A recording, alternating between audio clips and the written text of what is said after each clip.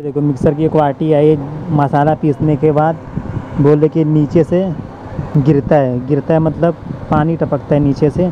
आपको इस ये पानी गिरने का क्या कारण हो सकता है? ये आप लोगों को बताने जा रहा हूँ। ये देखो फिर उसको खोलने के बाद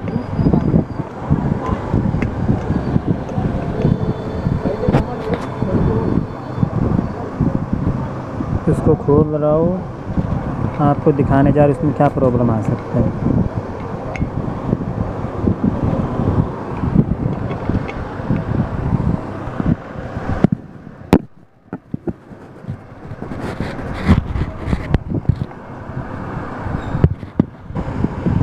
ये देखो, खोल दिया हूँ। अब इसमें से ये देखो, पानी जो टपकता है ये ये जो बुश है ना अंदर का ये